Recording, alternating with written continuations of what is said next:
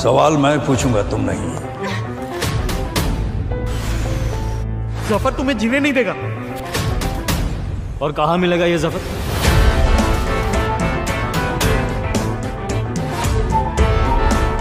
इन आँखों में गौर से देख। ना तो इनमें मरने का गम है। कहानी कारगिल युद्ध के समय से शुरू होती है जब भूतपूर्व रिटायर्ड नेवी ऑफिसर और वर्तमान में एक नॉवल राइटर हरेंद्र सिंह सिक्का एक इंडियन आर्मी के हट्टे कट्टे नौजवान से मिलते हैं। इंडियन आर्मी का वो सिपाही जिस बहादुरी से युद्ध कर रहा था और जिस बहादुरी से उसने राइटर हरेंद्र सिंह सिक्का को उनके सवालों का जवाब दिया कि हरेंद्र सिंह सिक्का उससे खूब प्रभावित हुए और उन्होंने उसके बारे में ना और जानना चाहा। उसने अपना नाम समर खान बताया। अब क्योंकि कारगिल युद्ध पाकिस्तान के विरुद्ध हो रहा था और समर खान एक मुस्लिम धर्म से आता है तो नॉवल राइटर हरेंद्र सिंह सिक्का को समर खान के बारे में ना और डिटेल में जानने का मन होने लगा। फिर हरेंद्र सिंह सिक्का के काफ़ी ज़्यादा ज़ोर देने पर समर खान ने उन्हें अपनी स्टोरी बताई। समर खान की माँ सहमत खान थी, जो कि एक कश्मीरी मुस्लिम बिजनेसमैन की बेटी थी।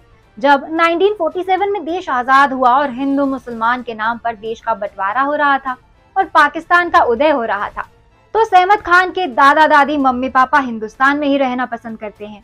क्योंकि उनका हिंदुस्तान से ना एक अच्छा खासा बिज़नेस था और वो लोग देशभक्त भी थे। सहमत खान जब बड़ी हुई तो वो दिखने में ना बहुत ही ज़्यादा खूबसूरत थी और खूबसूरती के साथ साथ वो काफ़ी फिट भी थी और प्रतिदिन ना वो एक्सरसाइज भी किया करती थी। फिटनेस का शौक उनको बचपन से ही था। सहमत खान पढ़ाई में बहुत ही होशियार थी। वो ब्यूटी विद ब्रेन का एक नायाब उदाहरण थी। सहमत खान महारानी लक्ष्मीबाई से ना बहुत प्रभावित थी। उनको सुभद्रा कुमारी चौहान की कविता, झांसी की रानी की हर एक लाइन पूरी तरह से याद थी। उनकी फेवरेट लाइन थी, चमक उठी सन सत्तावन में वो तलवार पुरानी थी। बुंदेले हर बोलो के मुँह हमने सुनी कहानी थी। खूब लड़ी मर्दानी वो तो झांसी वाली रानी थी। 1971 का समय था। पूर्वी पाकिस्तान के नेता शेख मुजीबुर रहमान चुनाव जीत गए थे, लेकिन पश्चिमी पाकिस्तान को उनका प्रधानमंत्री बनना स्वीकार नहीं था।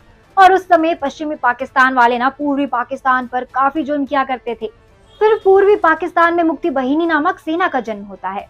मुक्ति बहिनी और पाकिस्तान आर्मी के बीच काफ़ी लंबा संघर्ष चल रहा था। इसी बीच पाकिस्तानी सेना ने भारतीय वायुसेना के 11 स्टेशनों पर हमला कर दिया। फिर क्या था?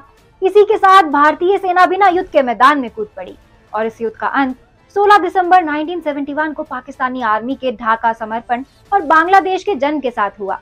जब भारत पाकिस्तान का युद्ध चल रहा था, उस समय सहमत खान कॉलेज की पढ़ाई कर रही थी। सन 1971 में हुए इंडिया पाकिस्तान के युद्ध से पहले इंडियन आर्मी को ना एक ऐसी जासूस की ज़रूरत थी, जो पाकिस्तान में रहकर दुश्मन की हर हरकत पर नज़र रख सके।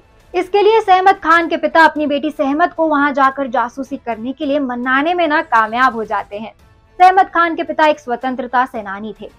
सहमत ने कभी जासूसी करने के बारे में तो सोचा ही नहीं था वो तो कश्मीर की एक युवा लड़की थी, जिसके शरीर की लंबाई और फिटनेस तो रॉ ऑफिसर बनने लायक थी, लेकिन मानसिक और भावनात्मक रूप से ना सहमत खान रॉ ऑफिसर बनने के लिए तैयार ही नहीं थी।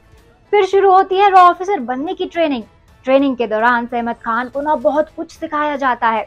हालाँकि उर्दू बोलना तो उनको पहले से आता था, लेकिन उनको पंजाबी में भी ना निपुण किया गया, क्योंकि पाकिस्तान की ज़्यादातर जनसंख्या पंजाबी में ही बात करती थी। इसके साथ सहमत खान को फाइटिंग स्किल्स भी सिखाई गई। क्योंकि पाकिस्तान में इसकी ज़रूरत पड़ सकती थी।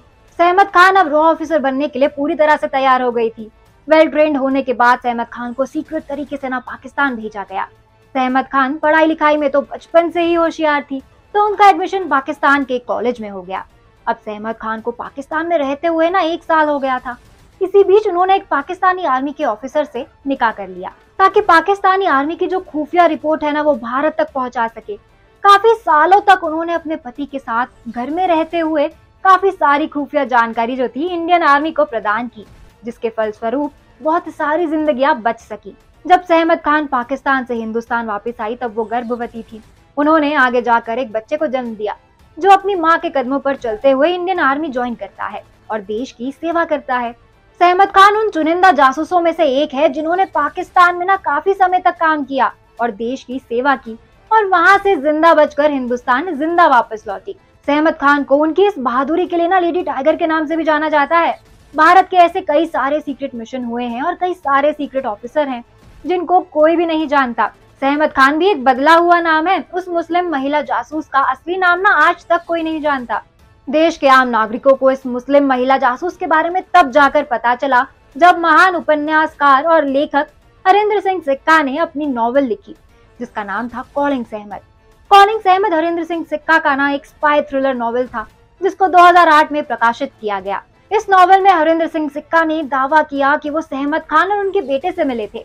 ऐसे ही कुछ स्टोरी ब्लैक टाइगर मूवी में आ सकती है। आप इस फ़िल्म के लिए कितने एक्साइटेड हैं, हमें कमेंट सेक्शन में बताना ना भूलें। आज के लिए बस इतना ही। अब मैं पूर्णिमा लेती हूँ आप सभी से इजाज़त। ये वीडियो पसंद आया हो तो इसको लाइक और शेयर करें। साथ ही सब्सक्राइब करना ना भूलें बॉलीग्राज स्टूडियोज को।